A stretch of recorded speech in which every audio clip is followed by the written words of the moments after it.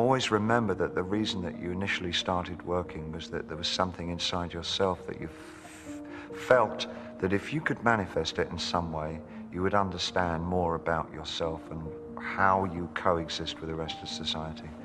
And I, I think it's terribly dangerous for an artist to fulfill other people's expectations. I think they produce, they generally produce their worst work when they do that.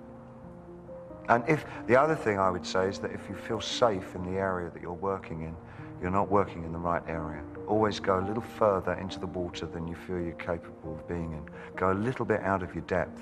And when you don't feel that your feet are quite touching the bottom, you're just about in the right place to do something exciting.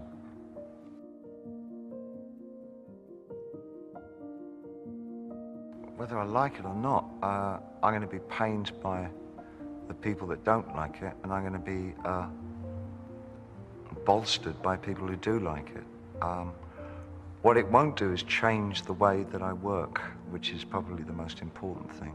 But whatever I hear, and people will insist on sending me any cr- criticism, I'll get over it fairly quickly. I'm not thick skinned. Uh, but I'm not thin-skinned either. But I've gotten used to the fact that uh, you just can't please all the people all the time.